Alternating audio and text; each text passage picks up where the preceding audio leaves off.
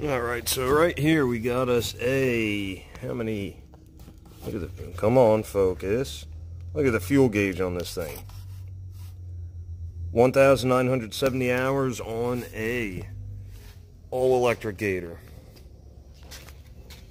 One, two, three, four, five, six, seven, eight six-volt batteries going into this here fancy motor controller with all these wires and switches and all sorts of crazy nonsense. Some heavy gauge wire coming all the way back to this here electric motor which drives that there differential.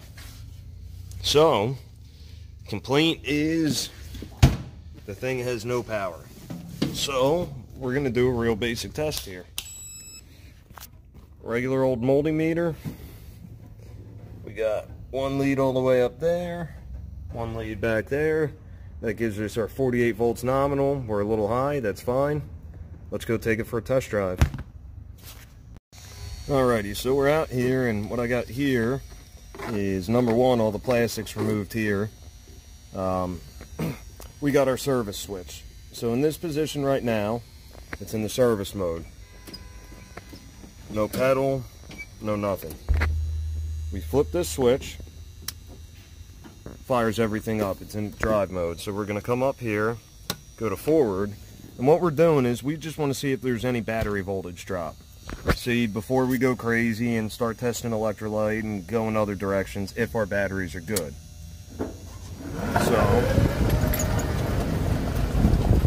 and now we start slowing down. Could start off and then it defaults to a crawl. But notice how we didn't lose hardly any battery voltage. I mean, it's still good. Batteries aren't dropping way down. It's not a power supply. We switch this off. Oh. And there we go. We cycle power to the controller. All of a sudden we get a short spurt of full speed. And then we're defaulted. So what does that mean? Well, one, we know our batteries are good. Two, which this is what I keep harping on, service information, knowing how it works. Power off shuts power off to the controller. Power on gives full current to the four outputs out of the motor controller. So that gives us full speed. Full amperage, full speed until now we're going slow. We have a fault. So if we do it one more time, cycle power,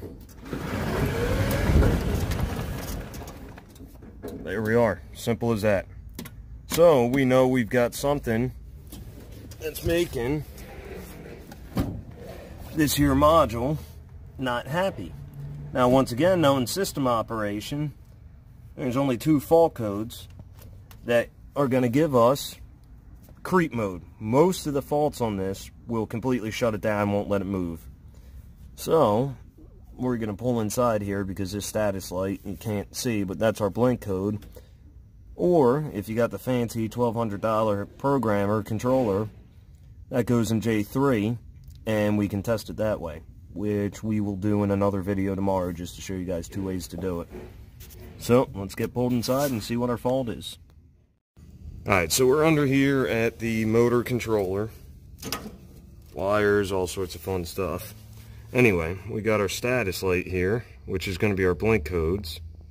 And we're going to have a 1, 1, 2, 3.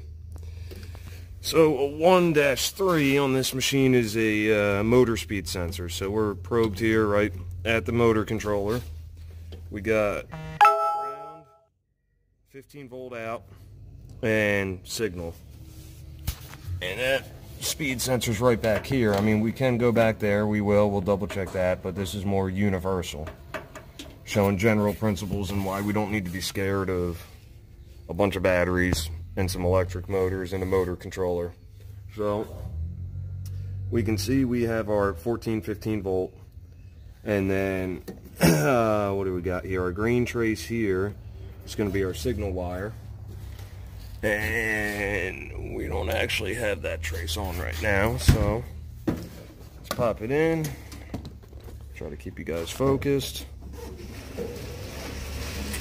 And whoop, Delay, delay, delay, and nothing. So, let's check it back at the speed sensor.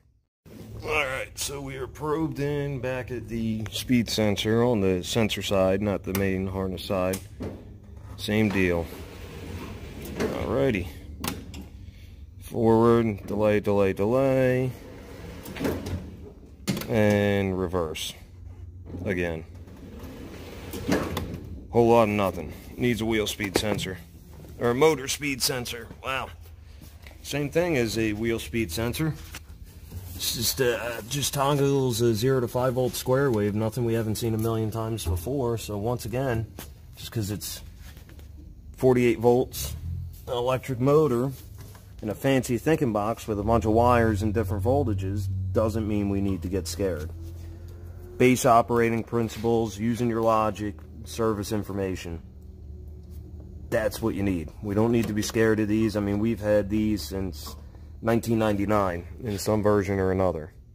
Pretty rudimentary, not a Tesla by any means, but if you understand basic electricity, basic sensors, and you have decent service information or a good head on your shoulders, you can figure out this motor controller and this whole drive system fairly easily. So, hope that helps. Alright guys, so the whole point of this video was, as I've said multiple times now, it's electric. Yeah, it's 48 volts. Yep. Got a motor controller. Mm-hmm. And we're starting to see more and more electrified vehicles. Now, some of them have higher voltages, some of them are hybrids, but core principles still remain. I mean, we've got a 0 to 5 volt square wave speed sensor. We've got electronic electronic and electrical principles.